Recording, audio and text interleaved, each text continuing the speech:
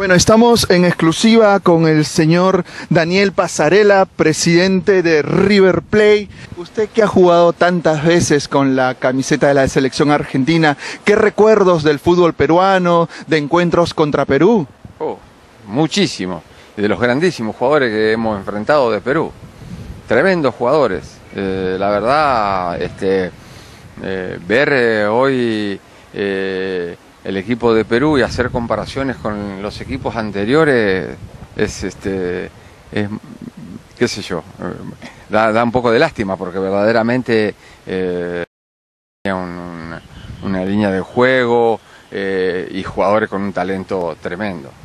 Eh, Maradona alguna vez dijo que recordaba a Reina y siempre lo recordaba toda la vida por esa gran persecución que tuvo. ¿Usted a quién recuerda? ¿A Oblitas, a Chumpitaz, a César Cueto? ¿Quién, quién es el que más recuerda usted? A Muñante, a Teófilo, a, a todos, a todos, eran unos jugadorazos. Eh, la verdad, este, cada vez que lo, enfrentábamos salían unos partidos impresionantes porque siempre se encontraban dos escuelas de fútbol que le gustaba jugar bien al fútbol. Y, este, y me acuerdo eh, con el flaco Menotti que pregonaba el mismo fútbol que le gustaba, que le gusta a los peruanos, eh, salían unos partidos tremendos. eh. Usted dirigió Uruguay, ¿le gustaría dirigir a la selección peruana y encaminarla al Mundial de Rusia 2018? No, no, yo no me, no me gustaría dirigir. No, yo estoy desempeñando otra función, estoy como presidente y no creo que vuelva a, a dirigir. Pero si lo tienta la Federación Peruana.